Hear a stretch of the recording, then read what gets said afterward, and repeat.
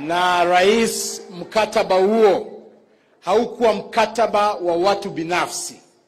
Mkataba huo ulikuwa mkataba wa kuleta maendeleo katika nchi ya Kenya.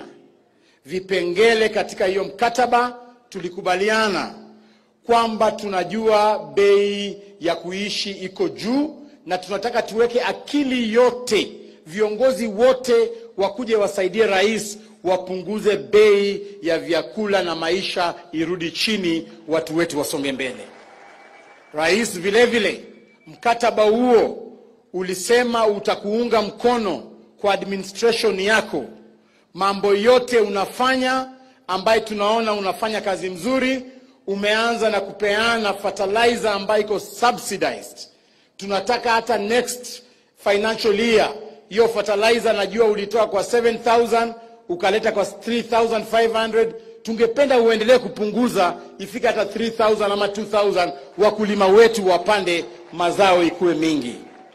Vile vile tunakushukuru rais kwa sababu wewe umepeana pendekezo kwa bunge letu la kitaifa na chairman wetu wa budget ako hapa kwamba ile taxes katika mambo ya ukulima haswa ukulima wa majani chai itolewe, wakulima wetu waanze kulipa ushuru kidogo, wasitozwe ushuru sana, ndio wapate profit. Sisi tunakushukuru rais.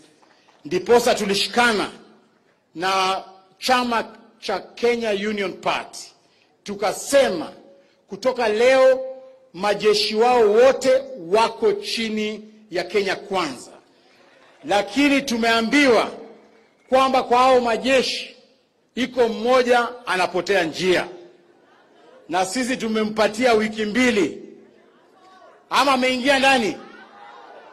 Basi tunataka akuje ndani, akuje asaidie rais wetu, afanye kazi na rais wetu.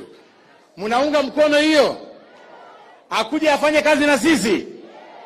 Na mwisho, rais, mimi najua wewe ni mtu wa usawa, wewe ni mtu unapenda kufanya usawa Kenya yetu vile wewe unafanya usawa na kudeal na hao watu wa kuibia watu ng'ombe hapa West Pokot, ile nguvu unatumia, ile polisi unatumia, ile viboko unatumia, mimi ningependa utumie hiyo hiyo nguvu kudeal na watu ambao wanaharibu mali ya watu wakiandamana kule Nairobi. There is no difference between a bandit and a demonstrator who destroys property in Nairobi. Huyo jamaa anapiga mawe